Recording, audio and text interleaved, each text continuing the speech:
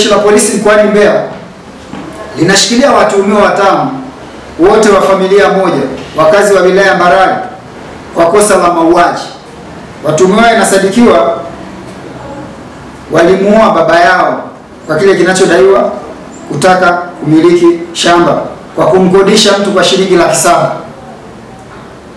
Tukio hili litokea tarehe 25 mwezi wa sita mwaka huu majira ya saa tatu usiku katika kitongoji cha Mbuyuni kijiji cha mpakani kati ya Ubaruku wilaya ya Mbarali mkoani Mbeya ambapo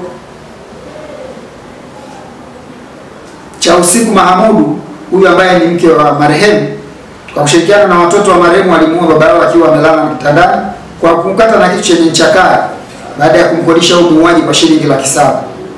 Na ni kwamba tarehe 24 mwezi wa sita mwaka huu majira ya asubuhi mke wa marehemu alimpatia mtoto wake fedha Idrisa Ali kwa ajili ya kwenda kumtafuta muuaji ambaye ni Fikiri Ali au Ras. Huyu ana miaka 38, mkazi wa Mbadala. Na mapema tarehe 25 mwezi wa sita majira ya saa tatu asubuhi alifika naye hadi nyumbani kwa marehemu baba yao na kumwonyesha mazingira yake nyumbani. Kwa hiyo ndicho walichokifanya. Baadaye alitoka na kwenda kumkatakata babake na mapanga.